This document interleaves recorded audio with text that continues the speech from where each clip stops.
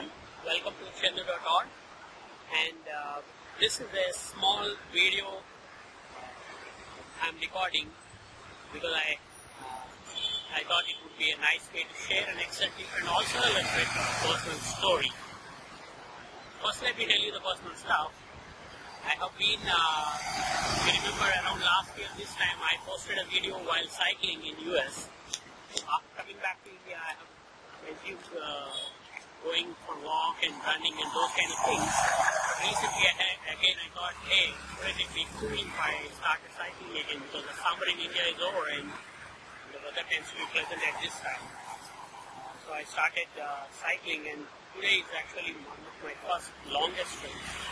I have finished the first half, which is 20 kilometers, and uh, hopefully I will be able to finish the second half. Go home by time to take this.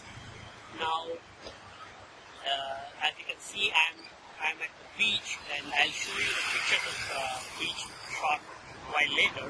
But first, let me tell you a very quick Excel tip. Uh, if you are working with Excel charts, then uh,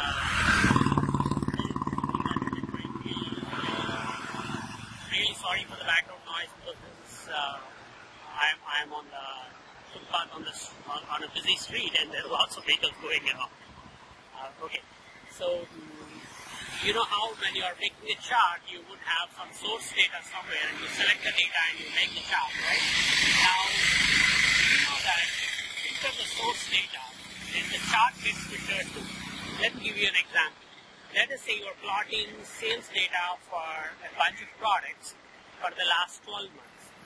So you have product A, B, C, D, and you have plotted the sales data as a line chart, bunch of lines, or a bunch of columns and uh, your boss suddenly says, hey, I don't want to see all the products, I just want to see product A and product B. So how do you do that? You cannot make another chart you, you, by deleting the data for B and C because after a while he might ask you uh, to show the data, data for B and C. So one quick way is to go back to the source data, filter out B and C, and bingo, your chart gets updated only for A and B. So the way charts behave is they only display the data in the visible cell. Any cell is hidden because it is filtered out. It will not be uh, shown on the charts. Of course, you can change this default behavior, but that's the default behavior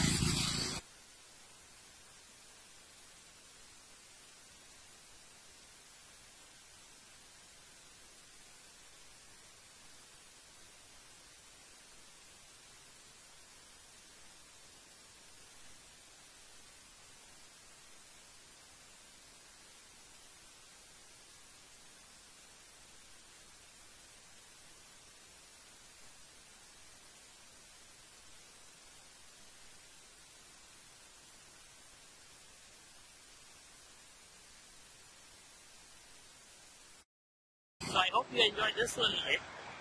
In a while, I'll just show you our beautiful city, uh, the beach uh, where I'm here, things. So here is our beach.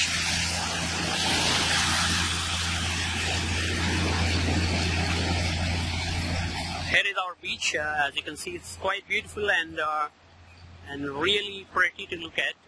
Uh, and it's just 20 kilometers from my house, so probably I can cycle here once every week and enjoy this site. Nah, I'm just kidding. We usually come here uh, by car and uh, take the kids uh, and come here uh, so they can actually play in the sand while me and Jo have some quiet time. And uh, this is also a nice place where it's kind of busy now with lots of vehicles on the street, but usually around the early morning time and evening times, pleasant to come here, walk along, walk along this pathway while overlooking the beach. And um, and here is my trusty companion for this ride, uh, my my cycle. And you can see the bag which contains some water bottles in the camera. So that's all. I hope you have enjoyed this short video, and I'll see you again sometime soon. Bye bye.